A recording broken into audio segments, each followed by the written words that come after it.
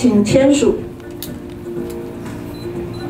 在长庚医疗决策委员会主委陈文俊与百灵家英格汉总经理邱建志代表签署下，全球前二十大的百年德国药厂将与全台最大医疗体系强强合作，希望共同推广临床试验，携手加速创意药物研发进程，造福更多病患。诶，长庚体系在台湾啊，可以说在呃民众的服务跟研究方面啊，都一直都是啊。相当的对病患相当的，呃，可以说是有利哈。那百灵家它本身在国际上药物的研发方面也是啊为人所称赞。那我们这一次的可以说是强强的结合双赢的策略，让台湾的民众在临床的治疗诊断跟药物的应用，哦。可以呢，跟国际接轨。大部分的国际厂商想来跟医院合作，都很希望说他们在最短的时间内能够收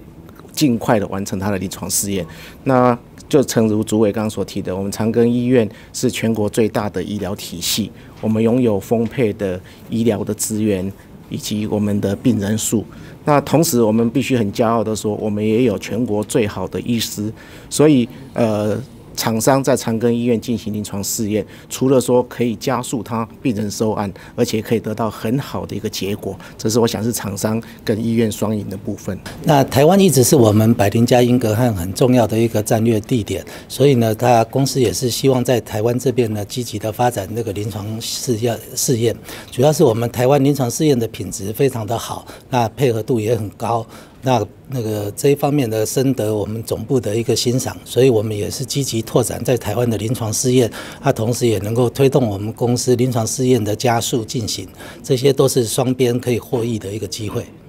百灵家英格汉总经理邱建之表示，目前百灵家英格汉在台湾有二十三个临床试验正在进行，未来更将聚焦在包括癌症在内的六大专科领域。同时，希望以临床试验作为起点，扩展到其他产业合作，找到更多适合台湾病人的解决方案。那我们临床试验过往跟长庚其实合作的也相当的多。那我们当然后续的新药我们也陆续推出，也希望说更继续跟长庚啊，甚至更扩大的进一步在临床试验的合作。同时，也想借由临床试验为起点，甚至可以扩大到其他方面的产学合作。那我们也会进一步的推敲这些可能性。记者张启腾台北报道。